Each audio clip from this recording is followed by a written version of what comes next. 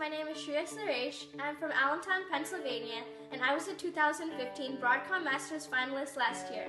Woohoo! Hello, my name is Andy Egerbrotten. I'm from Rochester, Minnesota, and I was a Broadcom Master finalist in 2015. I know you guys must have received a packet of information to register for Broadcom, and you know what? Don't miss this amazing opportunity.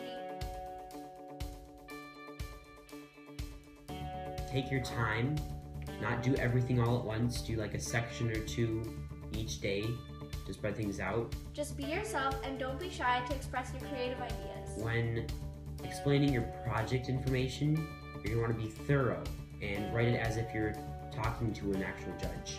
Remember to put all your effort into it because this is the first thing that the judges will see when they evaluate your project. It's totally worth it to fill out the application because of the amazing experience you get to have. Never hesitate to fill in your application forms because it's truly worth it in the end, I promise.